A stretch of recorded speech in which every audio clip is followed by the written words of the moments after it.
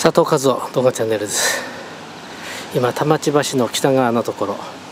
玉屋酒店さん玉屋酒販さんのところに来ておりますけどももういつものと同じぐらい、まあ、ちょっと多いかなという感じありますけど、まあ、元に水面が戻ったのかなという感じしております。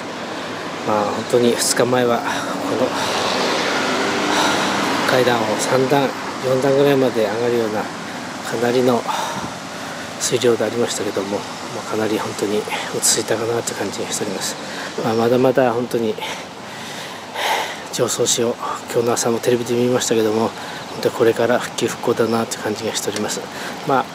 あの一時的には昨日あたりは東北地方石巻の方も被災を受けたようでありますが、まあ、会場になっておりますんでね、まあ、徐々に元の生活に戻っていただければと思います、まあ、そんな簡単にはいかないのかなと思いますけども